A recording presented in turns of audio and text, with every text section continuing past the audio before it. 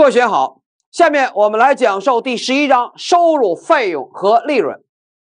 好，我们先来看考情分析。二零一七年本章教材内容发生了变化，什么变化呢？将之前的第十七章政府补助调整到本章了。那么还有呢，是以前的第十八章借款费用调整到第十一章收入、费用和利润中去了，部分内容重新编排了。那么增加了代理进口业务的会计处理，那么这个处理要求是按净额法来进行确认收入的一个例题。但这个例题我顺便也说一下啊，这个例题在教材当中它是放在最前面的，也就是说它放到前面来说的。但是我在讲课的时候，我把这个内容我给放后面了，放到收入那一部分内容了，所以这样呢便于大家去学习和理解。所以我把页数告诉大家，这个页数在哪儿呢？是在两百五十页这块有一个例十一杠一，这个例题它实际上是一个什么呢？是一个案例。这个案例我后面也讲了，后面我讲案例是按照中国证监会会计部编写的那本解析来说明的。好，这是一个啊。那么再一个内容呢？在我们教材当中呢，还增加一个例题呢，是二百五十页十一杠二，这个内容涉及到正负补助，但这个内容我也放在后面了，但这个例题不再讲了，因为后面跟它重复内容。好，这跟大家说一下啊，这个安排的问题啊。好，接着看，所以这块内容增加了例题，实际是案例啊，提供劳务收入这部分内容增加了网络游戏开发商收入确认的例题，这部分内容。到底是按照商品销售收入，还是按照提供劳务？现在明确规定属于提供劳务了。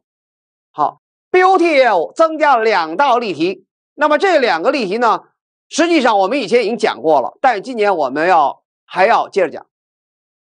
此外，政府补助这部分内容完全是按照新的会计准则来写的。那么这新的会计准则目前还没有正式啊实施，但是我们教材按照这个内容来写了。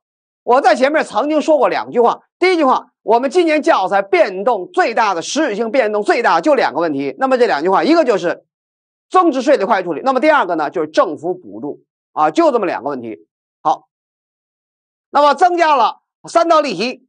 那么政府补助会计处理按照准则修订征求意见稿来进行修改的，也就是说，实际按照新的准则那么来处理的。比如说，这里涉及到了政府补助当贴息的处理，有两种处理方法，这是一个。那么还有一个呢，涉及到政府补助在核算的时候，与资产相关的、与收益相关的处理方法，在这也改变了。好，我们后面要把这个内容要作为重点来给大家讲授。好，再往下接着看。本章是历年考试重点，客观题主要是考察收入的构成内容、期间费用。那么期间费用三个期间费用：营业外收支，还有借款费用核算以及现金折扣核算。那么主观题往往是和会计差错更正结合在一起出大题的。那么考点是商品销售、提供劳务、建造合同收入的确认和计量。那么其中在我们注会当中，几乎年年必考的是。商品销售收入，那么建造合同在小题中经常会考到的，提供劳务这两年考的也非常多。好，那么二零一六年继续出现差错更正的这种题目，所以和收入结合在一起。所以差错更正我说过了，无外乎要结合两个，那么一个就是收入，一个就是或有事项，也是十三号准则内容，或有事项。此外，借款费用主要是和固定资产等章节结合在一起，出现什么呢？主观性题目。好，这是啊考情分析。好，那么第一个知识点，商品销售收入的会计核算三颗星。好，历年考题涉及到本知识点情况，那么主要内容是既有客观题，也有主观性题目。那么在这章内容当中啊，综合题的题型的形式外乎两类，第一类。给定金业务编分录，这种又在机考前出过，机考后没有出现过。那么第二就和差错更正，现在目前主要是和差错更正结合，外乎两种情况。好，第一，一般商品销售收入确认的核算问题。好，在讲之前，我先讲额外问题啊。那么我在这儿本来想制作一个片子啊，制作片子，那么来说明一下这个新的准则内容。但是呢，因为我们是应试考试，所以我没有必要在这花那么多时间让大家看这些东西，没必要。但是我想说一个问题，第一个问题，新的准则，也就是说，那么将在二零一八年修改和颁布。我目前知道是七个准则，那么七个准则当中。变化最大的一个收入准则，那么再一个金融工具啊，就二十二号准则，金融工确认和计量准则，这两个准则一旦真的要颁布以后，修改以后啊，那么很多内容真是颠覆性的内容，真是颠覆了，很多内容处理方全都变了，那么涉及到教材内容也都变了，那么这是一个，所以我什么意思？赶紧考吧，一七年赶紧考吧，考完完事儿，你知道吗？一八年变再变吧，一七年我过了就完了。那么第二，我举个例子啊，为什么要举个例子？那么就是在一六年的时候，一六年底的时候，我们学校请了这个中国证监会会计部啊副主任焦晓宁主任来给我们研究生讲课啊，我还去蹭听去。蹭听的时候，他当时举了一个例子，说什么问题？说我们国家目前的收入准则用的什么观点？用的是风险报酬转移观，和国际会计准则一样。那么现在国际会计准则修改了，那么叫做什么控制权转移观了。在这种情况下啊，很多理念都变了，特别涉及到什么呢？通讯行业，通讯行业，比如说中移动啦、中国联通啦、中国电信这一类的行业。好。那么这是一个，再一个，很多处理方法按照现行的会计制度，也按照没有变化的会计准则啊。那么很多处理方法可能两种到三种方法，但是新修改的准则当中可能会出现一种方法。那么这个焦晓宁主任给我们举了一个例子啊，这个例子我也拿出来说一下。我们在这儿也就是让大家知道，我想在这儿说一下，让大家知道他举这么一个例子。说我手里拿着东西啊，这个东西什么东西啊？是 POS 机，POS 机啊。那 POS 机刷卡用的，对吧？我是卖 POS 机的，我这 POS 机多少钱啊？我先告诉你，说个假定数啊，说个假定数啊。那么是为了简化啊。那么我这个成本是多少？成本一百，成本一百元。我假定啊啊，实际上不止一数，为了好算数啊。成本一百，卖多少？卖八十，售价八十，卖亏了吧？卖亏了，好，卖亏了。然后合同约定啊，我把 POS 机卖给你后，然后你不刷卡吗？对吧？用户要你刷卡，刷卡按照刷卡的金额的一一定比例，那么要支付给我，支付给我。比如说相当于什么呢？分享收入都可以，反正按照刷卡的一定金额，那么他返还给我一定的金额。好，在这种情况下，我快处理怎么处理？成本是一百，卖亏了，卖八十啊。那么亏二十，我怎么处理？按照现行的会计制度或会计准则来讲，实际有两种处理方法。但是按照新颁布的啊，以后二零一八年要执行新准则，可能就会一种了。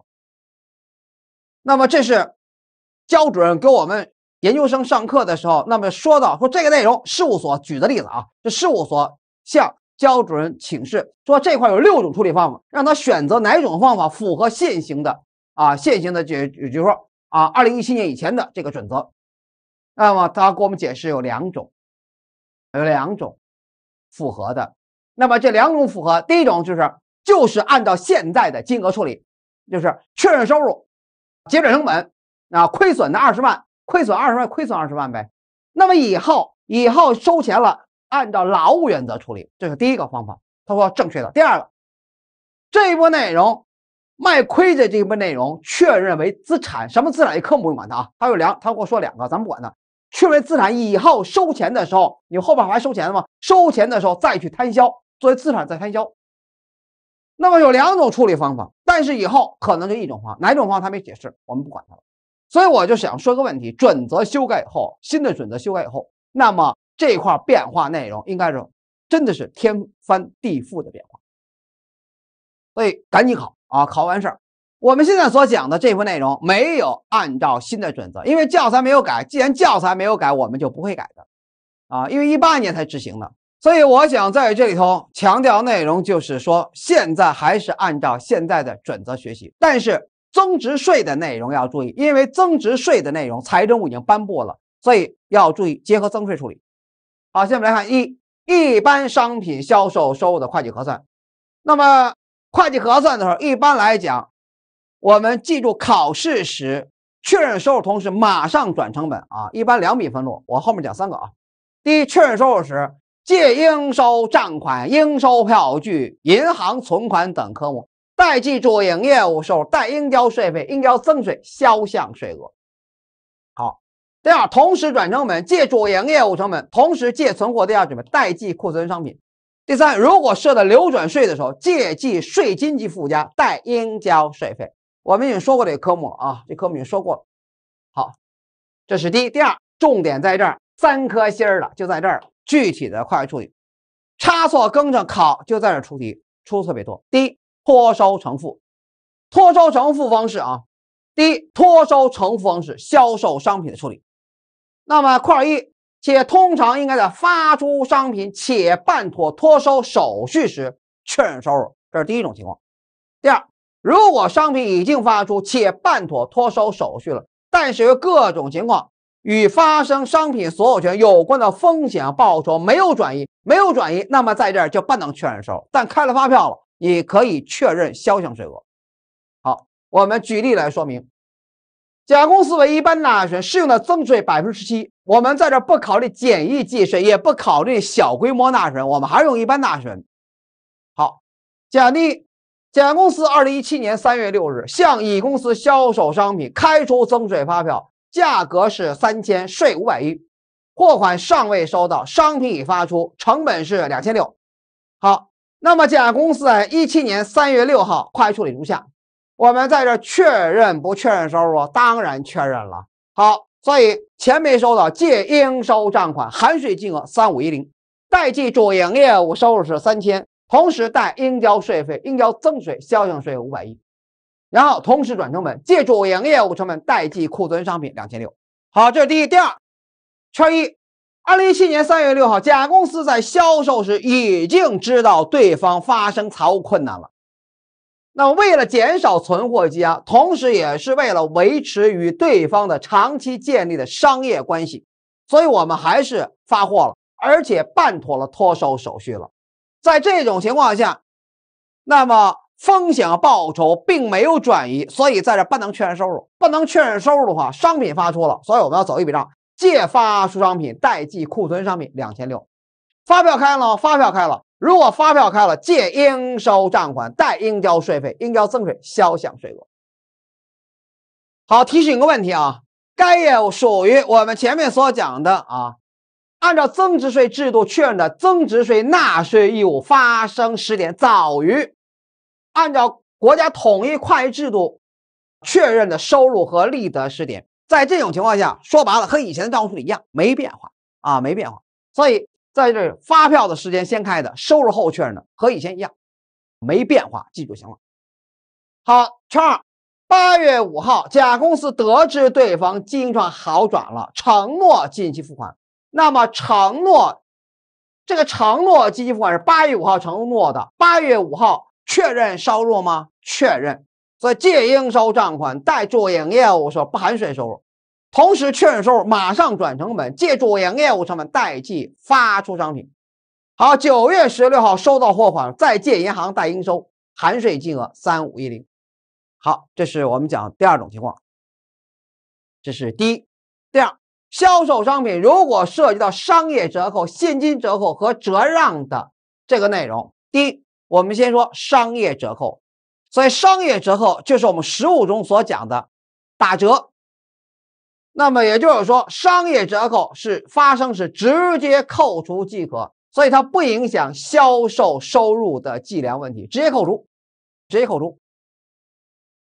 那么比如说我我这儿卖商品啊，我打折，比方说九折，九折商业折扣不就百分之十吗？那么在这种情况下，你们买我东西，那么你给我多少钱啊？那么假定一百九折，那我就收九十呗，你给九十不就完了吗？第二，新折扣。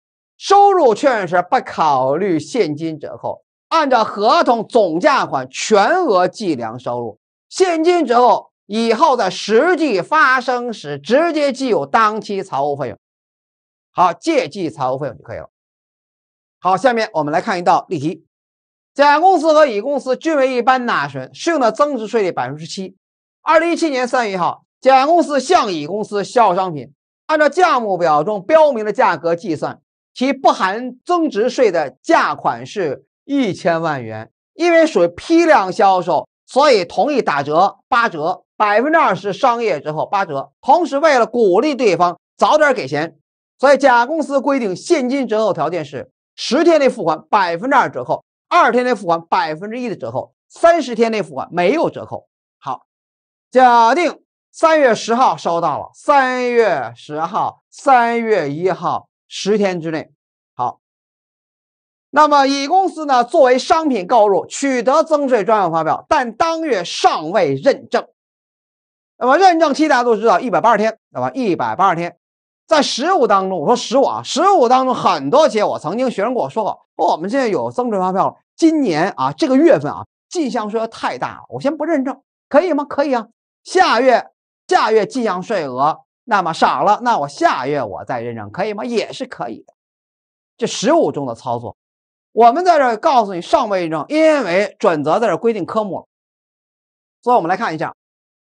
那么资料打出来了啊，我们先来看甲公司这边，甲公司这边三月一号确认收入时，所以带主营业务收入，那么是一千乘以八折，百分之八十，那么就是八百，带应交税费销项税额八百乘百分之七是幺三六，那么上面借应收账款。那么一千乘以八折，再乘以一点一七，含税金额九三六。好，这边呢，那么三月一号的时候，借库存上面按不含税金额走是八百，一千乘以百分之八十，同时借应交税费待认证进项税额幺三六，取得增税发票了，但尚没有认证，然后待应付账款九三六。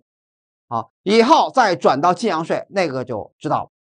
好，再往下接着走，下面那个内容。收到货款时，那么处理方法两种方法：第一，按含增税金额计算；第二，按不含增值税的金额计算。两种方法都考过。先用第一种方法，按含增税的金额计算。我们注会只考过一次，啊，只考过一次。所以借银行存款多少钱不知道，借财务费用，那么应该是八百乘以一点一七，再乘以百分之二，含税金额百分之二，十天内百分之二是十八点二。待应收账款九三六，那么这边呢是差额倒计出借记银行存款九幺七点八。好，这边呢同理，这边借应付账款九三六，贷银行存款九幺七点八，贷财务费用十八点七二，这边借财务费用十八点七二，这是第一种情况。第二种情况，注算师考的时候通常用第二种方法，按不含增值税的金额计算，所以。借财务费用八百乘百分之二，没有再乘一点一七是十六。好，这边贷财务费用十六，然后这边贷应收九三六，这边借应付九三六。那么这边呢是借银行，这边贷银行。好，那么金额自己看就可以了。好，这是我们讲的一个例题。下面我们来看一下二零一五年的一道单项选择题，看是不是特别简单，两分是不是白拿的两分甲公司为一般纳税人，适用的增值税百分之十七。一四年十一月二十号，甲公司向乙公司销售商品，价款二百，税是三十四。当日，商品运抵对方了，乙公司在验收中发现有问题了，经协商同意给予百分之三的折让，同意给予百分之三的折让。好，为了及时收回货款，那么又规定现金折扣条件。十天内付款百分之二，天内百分之一，三十天没有折扣。好，再来看，那么乙公司在叉四年十二月八日支付了扣除折让和现金折扣后的货款，那么收到了。那么我现在问，甲公司应该确认收入多少？确认收入多少？收入确认我们说过了，第一个我们要注意现金折扣在收入确认是考虑吗？不考虑。薪后收入确认不考虑，但是折让考虑吗？折让是考虑的。那么这道题有折让吗？有折让，有折让百分之三，所以这个折让是影响收入确认的。那么这个要扣掉，注意要扣掉，不扣不行啊。所以折让本身和收入的确认应该是没有直接关，扣了就完了，扣除就完了。因此这个题目当中，我们看一下啊，那么企业确认收入需要考虑折让后的金额计量。那么在计算的时候，我们这价款二百，百分之三，那直接乘一减百分之三不就完了吗？现金折扣考虑吗？不考虑。现金折扣应该是在实际发生时再考虑。所以最后算出一百九十四，白给分吗？非常简单，这两分白拿。好，再看一四年考题。那么，叉四年三月一号，甲公司向乙公司销售商品五千件，每件售价二十元。甲公司和乙公司为一般纳税人。甲向乙销售商品的时候，给百分之十的商业折扣，打折九折。现金折扣条件，注出来去考，从来都是这个比例，从来都是比，没换过一次，并。带电运杂费一百，先问一下带电运杂费啊，带电费一千，带电运杂费一千走哪儿？记住应收账款对吗？应收账款对吗？对的。所以钱没收到情况下，记住应收账款金额一共几个金额？三个，不含税的价款，第二个增值税的销项税，第三带电运杂费都是记入应收账款。好，乙公司超四年三月十五号付款了。不考虑其他因素，那么问确认收入的金额是多少？确认收入金额说白了和现金之后没有关系，百分之商业扣掉不就完了吗？这不九折吗？对吧？九折吗？所以来看一下，非常简单。所以是五千件乘以每件售价是二十元，然后扣掉百分之十，也就是乘以百分之九十，九折嘛，算出是九万元。现金之后，实际发生时才走财务费用的，代订杂费是既有应收账款和收入确实没关系，不也白给分吗？好，这是第二个问题。好，再看第三个问题：销售折让。销售折让发生在收入确认之前的，我们注会考过。之前的，说白了，收入确认了吗？没确认了，没确认了。那么好了，发生折让了，这一块内容刚刚说过了，就是商业折扣，就是按打折原则处理。按打折原则处理，这是一个。第二个，如果销售折让发生在收入已经确认之后了，那么直接冲减当期的收入。比如说八月份销售的，十月份发生的折让，冲十月份的收入，冲十月份的销项税额等。第三，销售折让发生在收入已经确认之后，且属于资产负债表日后事项的。那么，按照日后事项原则处理，冲减报告年度的收入。好，下面我们来看一道计算题：甲公司为一般纳税人，增值税百分之七。一一六年十一月二十八日，甲向乙销售商品，开出增值税发票，价款八百，税幺三六，成本五百，货款已经收到了，所以借记银行算含税金额九三六，代记主营业务收入八百，代应交税费，应交增值税销项税幺三六。同时，第二笔分录转成本，借主营业务成本代记库存商品五百，这没有难点，对吧？好，那么甲第，那么一六年十二月二十八日发生折让了，那么冲减怎么着？冲减十二月份的收入，我说对吗？对的。同时冲减销售成本，对吗？错了，折让不冲成本，折让不冲成本。所以只冲减十二份的收入，借主营业务收八百到百分之五，五八四十。同时借应交税费，应交增税销项税四十乘百分之十七，六点八，贷银行存款把钱退回就可以了。所以说什么时候折让的，冲什么时候的这个月的收入和销项税就可以了。那么假定第二年二月份发生折让的。那么上年一六年财务报尚未报出，那么作为资产负债表日后事项的调整事项处理，所以借主营业务收入不能借了，改借这个科目，借以前年度损益调整还是四十，其他分录一样，然后再借记应交税费，应交增税销项税额六点八，代记应收账款，在这儿注意不能代记银行存款，因为日后事项不允许调整两件事儿，第一件事儿是。资产负债表中的货币 C 项不能调。第二件事，现金流量表不能调，所以用这个用账款来替代一下也可以。好，第二个问题吧。第三，销售退回也三种情况。第一，如果没有确认收入，售出商品发生退货了，那么收入还没有确认的，那么只需要将发出商品再转回到库存商品中去，所以借记库存商品，代记发出商品。那么第二，如果收入已经确认过了，后来又发生退货的，那么直接冲减当月的销售收入等。比如说八月份卖的，十二月份退货，冲十二月份的什么东西？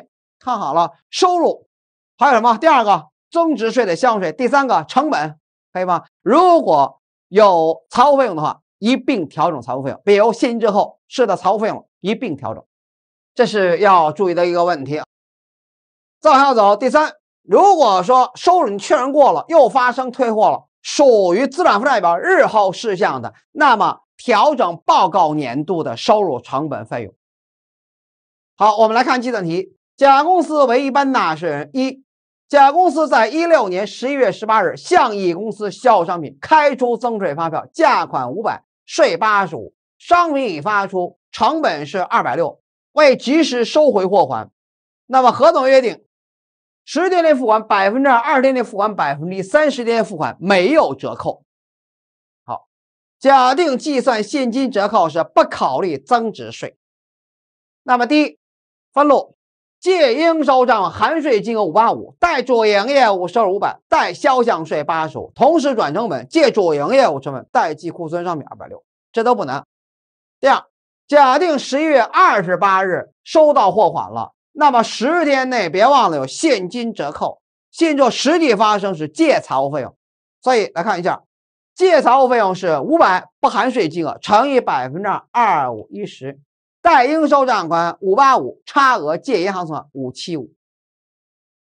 好，三假定十二月二十六号该批商品因质量问题被退回来了，所以应该冲减十二月份的收入成本费用等。好，那么甲公司当日支付了有关款项，并且已经取得税务机关开具的红字增值税专用发票了。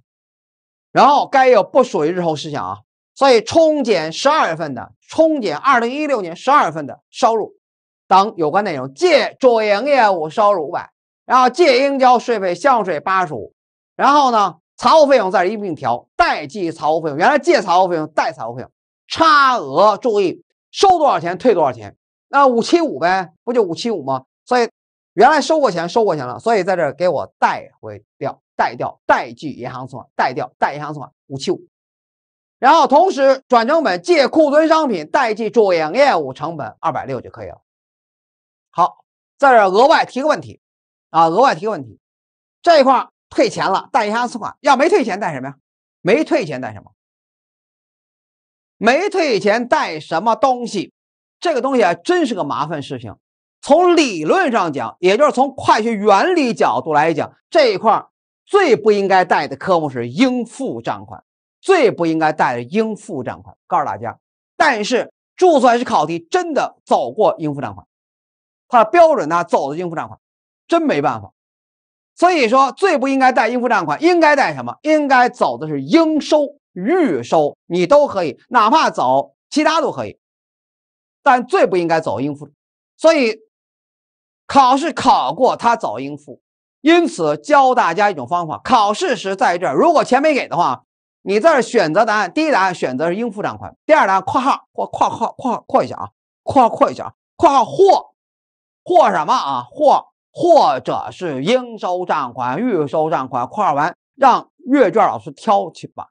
为什么？因为标准答案很多情况下是不止一个答案，也真的是很多答案。那么只要碰见一个，那你就能拿到分儿你知道吗？没办法。只能这样。你看它真正的标准答案当中，有时候好几个答案用括号形式来列。那么四，假定假定一七年一月二十六号资产负债表日后事项期间了啊，那么被退回来了。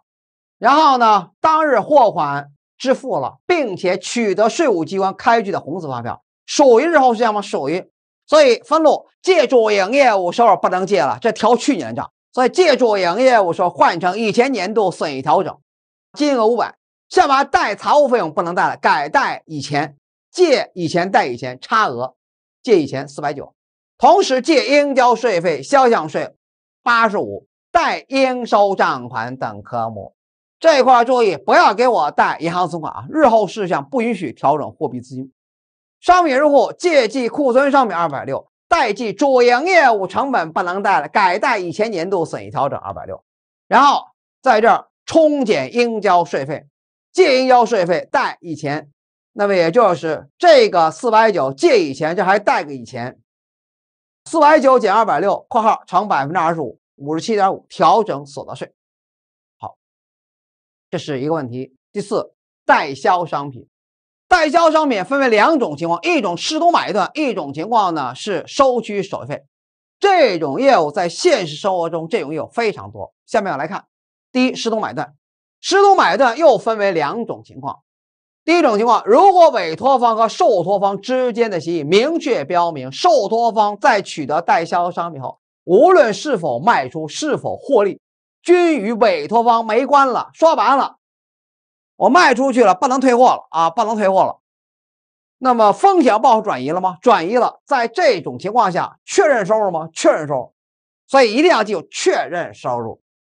好，那么这种题目以前真的多少年都没考过，二零一四年首次出现这次考题了。好，现在看四道题：甲公司委托乙公司销售商品一百万件，协议价每件一元，成本零点八。那么协议规定，乙公司在取得代销商品后不得退货，看见了？不能退货。好，那么甲公司开出增税发票，好，那么乙公司取得后增税发票尚未认证，知道怎么了吗？知道了。我就强调一件事啊，第一，这边确认收入吗？确认收入。这边作为商品购进处理吗？作为商品购进处理。说白了，当成两个业务。销售商品按销售商品处理，购进按购进处理就可以了。具体来看，借应收账含税金额幺幺七，贷主营业务收入一百，贷销项税十七，同时转成本，借主营业务成本代记库存商品八十。这边借库存商品一百，同时借应交税费，贷认证进项税十七，贷应付可以了。好，第二种情况再来看，那么如果将来受托方没有将商品卖出去，或者说可以。将商品退回来，没卖出去退回来呗，这一种情况吗？还可以怎么着？你卖亏了，卖亏了，我给你点补偿。好了，那么委托方怎么处理？受托方怎么处理？来看，我们先看委托方。委托方记住，一定是在收到代销清单时怎么着呢？确认收入，同时转成本。好，在这边，那么受托方呢？那么怎么办呢？第一，不做商品购进处理。那么第二个呢？对外销售时。才能确认收入。那么这个收入确认时候，这个价格可以变更吗？可以变更。好，这是第一种情况。好，我们再看第二种情况，收取手续方式。那么委托方怎么处理？委托方仍然是在收到代销清单时确认收入，同时结转成本。而受托方呢？那么第一个不做商品购进处理。那么第二个呢？对外销售时，那么不能确认商品销售收入，但是要注意可以确认手续费收入。所以收入不能确认，可以确认什么？应付账款，而且这个销售价格是不能变更的。那么手续费收入是可以确认的，这是收取手续方式。好，下面我们来看一道计算分析题：A 公司和 B 公司均为一般纳税人，增值税率百分之十七。A 公司委托 B 公司销售假商品一百万件，协议件每件是一百元，成本呢每件是六十，增值税百分之十七。一六年九月三十号，A 公司发出商品，至年末已经卖掉了十万件，年末收到代销清单，那么告诉我卖掉十万件了。好，一七年一月二十六号收到了货款。那么两个假定，第一个假定协议规定。B 公司可以将没有代销出去的商品退回来，可以退货。那么对外卖的价格，它可以变更，它可以卖一百二。第二种情况呢，A 公司按售价百分之十向 B 公司支付手续费。好，提成。那么两种情况，一种情况是委托方怎么处理，一种受托方怎么处理，我们都要讲到委托方、受托方，这第一。那么第二两种具体情况，我们还要分别说。一种视同买断，一种是收取手费。我们都先看 A 公司，A 公司，A 公司视同买断和收取手费。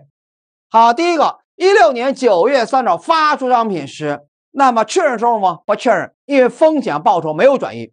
但商品发出去了，所以借记发出商品，代记库存商品，那么是一百乘以六十，一百万件乘以每件成本六十元，算出是六千。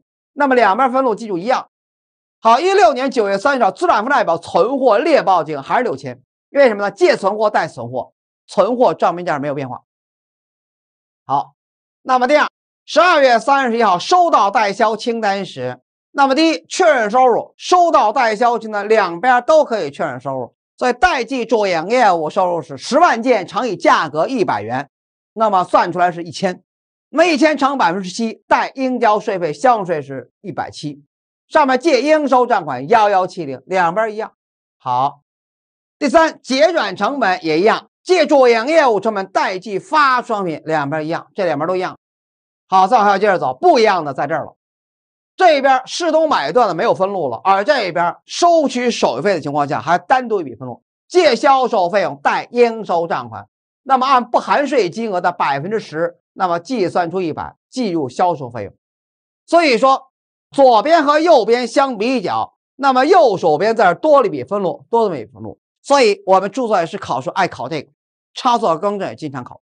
好那么再来看下面的思考题，下面的思考题在我们注册中考过啊。先看第一个，一六年十二月三日资产负债表存货列报金额多少？列报金额应该是结转了百分之十，还有九十没结转，那么六减五千四呗。所以结转成本六百冲掉，还有五千四没有结转。好，这边存货列报金额也是五千四，两边一样吗？一样。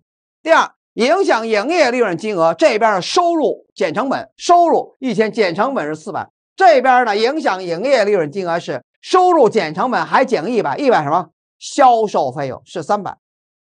好，第三个，那么这边影响应收账款金额呢，那么就是幺幺七零，这边影响应收账款金额幺幺七零还扣掉一百，就那销售费用那个借销售贷应收账款充了一百，这边一零七零不一样。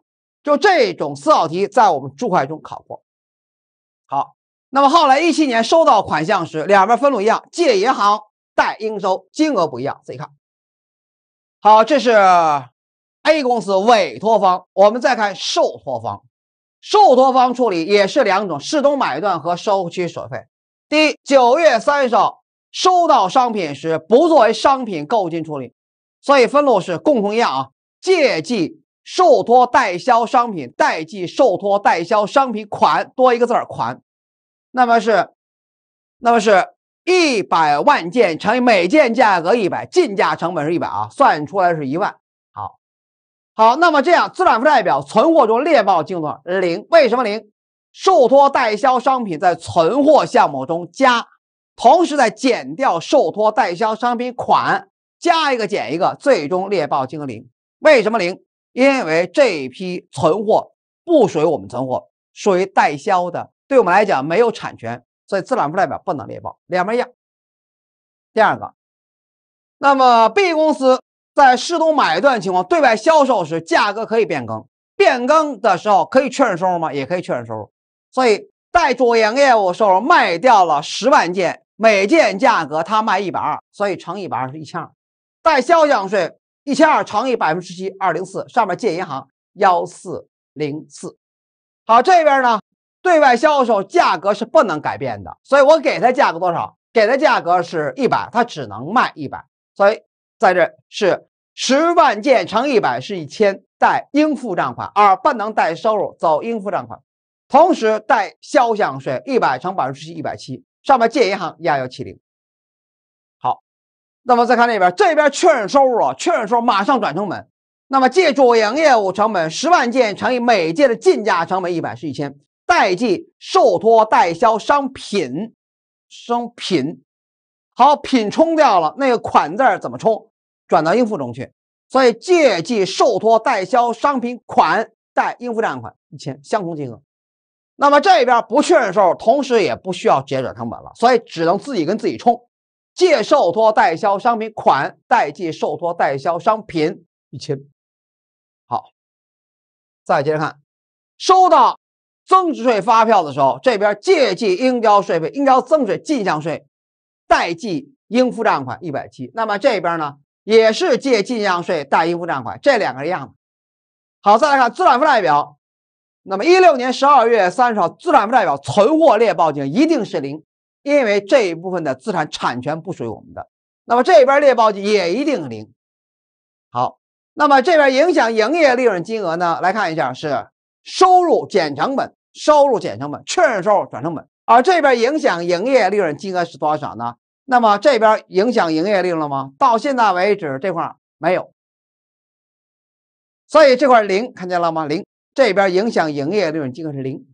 好，再接着看这边支付货款时，借应付账款，贷银行存款。应付账款两个应付，往前看哪一个应付？这一个应付，前面这还有个应付呢。这一个应付，这还有个应付，一共两个应付，所以是幺七零。而这边呢是支付货款时再确认手续费收入，借应付账款幺幺七零。代记主营业务收入或其他业务收都可以啊，这块没有严格限制啊。代主营或其他业务收入是一百，那么差额代银行存款支出去就可以了。好，这是我们讲的一个例题。好，下面我们来看一个案例。背景资料：二零一六年天猫双十一全球这个狂欢节，就十二号零点落幕，成交金额最终锁定了。锁定的创纪录的一千二百零七亿。那么好了，这个内容好说了。那么我们判断有关交易是否属于销售业务，还属于是代销业务，这个内容是需要我们会计直接判断的。好，我们来看一个具体解释。那么，且在区分有关交易是属于销售行为，还属于代理业务。应该充分考虑企业与供应商之间的交易是否为独立于企业和客户之间的交易的另一项交易。那么，该企业是否承担了啊所交易的商品和服务上所有权的主要风险和报酬，恰当的判断交易中我们到底是销售主体还是代理人？我们销售主体还是代理人？所以，企业应该综合各方面的情况，判断有关交易中属于是销售主体还是这个代理人。如果代理人和销售主体确认是不一样的，所以销售主体的，那么应该根据销售对价总额来确认收入。所以这是不一样的。如果是代理的话，那我们应该按差额或手续费这么来确认收入，不一样的。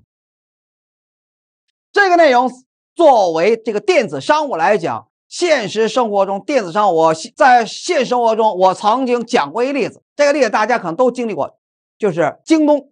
京东大家都知道啊，京东它其中有一部分内容，咱们比如说啊，咱们在京东那个超市上买个东西，你下了单以后，一般来讲当天就可以收到，因为我们学校就就这个当天就可以收到，因为我们学校的专门有一个京东的一个这个一个送货点，特别快。啊，你早上下单了，下班之前货到手了。好了，我问他为什么这么快啊？他说这我们自营的，自营的。我在京东上买过一东西，一个星期后才收到。从哪发的货？从广东发的货，一个星期才收到。我问他为什么那么慢啊？他说这是我们代理的，不是我们自己经营的。啊，后来他告诉告诉我，他说啊，他说如果买同样东西，那你还不如买我们自营的，自营的非常快，而且有质量保证。告诉我，你要是。他代理的，那么他中间他只收过手续费而已，所以在会计核算的时候，我们也要进行职业判断，真的要进行职业判断。好，下面我们再来看一道综合题，这是一四年考题，根据它题改编的。那么这本身原题是考差错更正，但是我给它变成正常题目了。好，下面来看，甲公司为一般纳税人，适用的增税百分之七。甲公司尝试通过电商扩大。A 商品市场占有率，甲公司与两个电商签订两类合同如下。好，先说第一类。第一类合同约定，甲公司按照电商要求发货，那么电商按照甲公司确定的价格，每件零点三万元对外销售，双方按照实际售出数量每季末结算，没有卖出商品由甲公司收回，可以退货，可以退货。好，那么电商。所销售的 A 商品收取提成费每件零点零二，收取手续费提成每件零点零二。该类合同下，甲公司在一五年十一月一号向电商共发货是一万件，甲公司向电商所发送的 A 商品数量、质量什么都符合要求。好，到了年底，实际卖出了八千件，发出一万件，卖了八千件。然后年末收到代销清单了吗？收到代销清单了，注明卖掉了八千件，然后扣掉手续费，钱也收到了，也开了发票，成本每件是零点一元。好，这种情况是委托代销。那么这种委托代销对于我们来讲就要注意一个问题了：我们收取手续费，收取手续费，每件呢也告诉我们了是零点零二。因此，我们什么时候确认？啊，什么时候确认收到代销清单时确认收入？所以我们在这里说甲公司委托方啊，不说受托方。好，我们还是讲委托方，因为考试是委托方用最多。来看一下，第一，发出商品时借发商品带库存产为什么呢？是收到代销清单时确认收入，因为我们这讲的是委托方，没有讲受托方啊。因为我们注会考试，而且大多都考的是委托方，受托方我记得考的很少。好，来看一下，所以十一月一号发商品时，风险报酬没有转移，所以不能确认收入。借发出带库存，一万件乘以每件成本是零点一，是一千。十二月三十号收到代销清单时，我们来看卖出去八千件乘以每件价格，告诉我们是零点三。好，那么是三八两千四，带销项税两千四乘以百分之十七，四零八，然后再借销售费用。八千件乘以每件的手续费是零点零二，好提成好一百六，差额借银行送二六四八，然后确认收入马上转成本，借主营业务成本代替发商品，八千件乘以每件零点一，那么算出来八百，应该不难。再看第二类合同，那么甲公司按照电商的要求的时间和数量发货，甲公司出售给电商的价格是每件零点二五。电商对外销售价格自行决定，没有卖出商品由电商自行处理。就这个问大家能退货吗？不能退货。不能退货的时候，我们确认收入吗？那么通常情况下应该确认收入的。好，每季末结算。好，那么一共发出了两千件。那么再看每件成本零点一元。好，货款没有收到。那么这种情况下就要注意了，风险报酬转移了，我们就应该确认收入了。所以借应收账款代做营业务说两千件乘以每件的价格零点五，往前看这零点五在这儿告诉我们，好，算出来的金额是五百，代销项税八十五，借应收五八五，同时转成本，借主营业务成本带库存两千件乘以点一是二百，好，收到货自己看。你以为注册 H 考试就那么难吗？有那么难吗？没那么难，看多简单。当时考差错更正，差错更正，所以这一块内容就是掌握基本的应付考试应该没问题。好了，所以我们在处理这个题目的时候，原题顺便说，原题当中呢有一个是每件零点一万元，它不是万元，是每件多少多少元，所以元你得换算成万元，别忘这点事儿。好，下面我们再来看一个案例。这个案例呢，是以购销合同方式进行委托加工收入的确认问题。注意，我们前面讲的委托代销这块委托加工，委托加工这个内容，这个案例本来我是想放到前面的，但前面呢放到前面的话，有一个问题，收入没讲，所以放在前面又怕大家接受不了，所以我给放到这儿。放到这儿的话，就是还是想说明这部分的委托加工。能否确认收入？大家知道委托加工，我们前面讲过了。比如说，举个例子，材料我的，我给你替我加工。比如说，我这批材料是木板，我原来讲过例子，木板，你替我加工成包装箱子。然后，那么我把木板发给你了，那么这个木板对你们来讲啊是属于代管物资，对吧？然后呢，我给你们加工费，加工完后发给我就完了，不就那么一过程吗？那么，如果上市公司用它操纵利润的话，那么又是另外一种情况了。我实务中碰到过这种例子。那么就是说，审计当中有个学生跟我说，说我们那个审计时候就有一个内容，他说这个内容啊，应该是不确认收入，他确认收入。比如说啊，怎么着，我这材料发给你，木耳发给你了，我卖给你，啊卖给你，然后你们加工后，你再卖给我，我再购进来。这种情况下，在实务中真正来讲，应该看合同，完全要遵循合同，而且要遵循实质中形式。下面来看这题目。A 上市公司主要从事工业专用装备以及大型特殊特殊钢的一种精锻件。这个特殊钢，这个应该没什么问题。还有精锻件，这个精锻件，如果你们下工厂的话，精锻件什么呀？大型的一个锻件。这个锻件，比如说啊，你们见过那个火车那个那个那个轮子，可以吧？还有大型的一些这个。比如说这个发电机，发电机用大轴承等等，一般都特别庞大。这种锻件，那么这种锻件铸造出来后，那么要经过这个车洗爆，车洗爆后，那么这个光度非常光的，所以这种就是精锻件。因为我在工厂待过，所以我知道这种东西。有时候这个锻件比人都高，真的比人都高。好。那么，它的研发、生产、销售服务的大型锻件生产企业，A 公司与 B 公司没有关联方，通过签订销售合同，那么这形式将材料哈委托将将材料销售给 B 公司，并委托 B 公司进行加工，同时与 B 公司有签订商品采购合同，再将加工后的商品再购回来。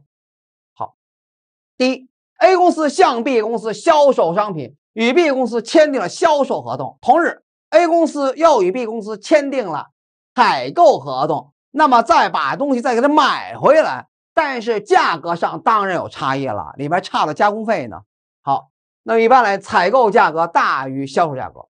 第二，A 公司与 B 公司签订的采购或者销售合同的要素，类似于加工承揽合同，类似于加工承揽合同。所以真正就就得看合同，合同标题直接为 A 公司采购（括号加工括号）合同或者销售（括号加工合同）。那么合同内容显示委托方为 A 公司，出现这个词眼了，委托方这个词了。那么加工方为 B 公司，也出现这个词了，看见了吗？那么质量技术标准为那么委托按照什么这个尺寸大小等等，按照要求走就可以了。那么这个就不管它。那么 A 公司和 B 公司签订的对外这个协同加工合同啊那，A 公司与 B 公司签订的外协加工合同，外协加工合同分为采购合同和销售合同，在管理上一一对应的。比如说，上市公司 A 公司与无关第三方签订合同，那么它怎么编号的啊？那么这么编号，那么 XS 什么意思啊？销售。销售，那么时间也告诉我们了，这时间这个型号告诉我们了啊。那么对应的采购合同，那么它用的什么？用的是采购，CG 采购也是 A，也是二零一二十二，那个是二 A 这二 B。从这字眼上我们可以看出这一块内容，那是采购合同、销售合同，但实质上是什么东西？实质上是委托加工。再接着看三，A 公司将采购合同。在这告诉我们，对采购合同不具有撤销的权利。加工方收到的待加工材料后，必须严格按照与 A 公司签订合同，那么进行加工，然后销售 B 公司。除此之外，加工方无权按照自身意愿使用和处置该批材料。加工期间，加工方要保管这些材料。那么，由于加工方保管不善，致使 A 公司这个材料毁损了。灭失了等等，都是对方来负担的。这就告诉我们什么？如果说真正来讲，我把这批材料发给你了，发给你以后，你收到这材料后，你只能备查账簿登记。如果委托加工的话，你只能备查账簿登记，因为产权不是你们的。那么这批存货你们没有处置权，因为你们要替我加工，然后再给我。如果说我真正卖给你了，就不是这么回事了。我要卖给你了，应该借存货类科目了。那么所有权是你们的，你们想干什么干什么。那么亏损了什么或者自然灾害损失是你们的事儿，不是我的事儿了，是这意思吧？好了。从这里来看，还是委托加工的内容，但非加工方保管不善导致 A 公司之毁损的、灭失的啊，那么 A 公司承担相应的风险。好，A 公司提供原材料、主要材料，那么所占用的比重，这个所占非常小的辅助材料，那么由加工方自行采购。这个是主要材料，主要材料是委托方提供的，也辅助材料由加工方自己来提供。四、票据方面，根据合同和相应的采购合同，A 公司分别向加工方开出增税销售发票。并从加工方取得进项增税发票。好，那么采购价格高于销售价格，那个差额由对方支付给他。问题：A 公司上述经营业务作为销售处理合适吗？作为销售和采购经营会计处理是否恰当？作为销售和采购是否恰当？你要作为销售的话，就要确认收入。好，那么作为委托加工的话，就和收入没有关系。所以上市公司用它来操纵利润，那么用这方法就就可以。那么我们来看一下啊，解析。本案例中，A 公司和 B 公司通过销售合同形式将材料销售“销售”俩字打双引号了啊，销售给 B 公司，并委托第三方进行加工，同时与 B 公司签订商品采购合同，再将加工后的商品回购回来。那么 A 公司分别开出增税发票。还要取得增税进项发票。好，接着看。然而，看见了吗？转折了啊！根据合同约定，A 公司对采购合同不具有撤销的权利，且在交易开始的时候，A 公司既与加工方同时签订了一个销售加工、一个采购加工合同，那么锁定了材料的销售价格和加工后产品的采购价格。那么在该交易中，加工方的收益是固定的，它不就是一个手续费、加工手续费吗？在交易开始就被锁定了，所以加工方并不会承担与加工材料有关的价格的变动风险，也不存在加工后产品销售不出去的风险。其次，待加工材料发送给加工方后，非加工方保管不善导致的材料毁损等等啊。那么 A 公司承担风险，A 公司承担风险，那么加工方管不着，你知道吗？此外，因加工方无权按照自身意图使用和处置该材料，因此加工方无法享受与该加工材料所有权有关风险报酬，也就通过处置和使用形式所形成经济，这个内容和我没有关系啊，那材料人家的材料，对吧？材料人家，我只是个代管，代管。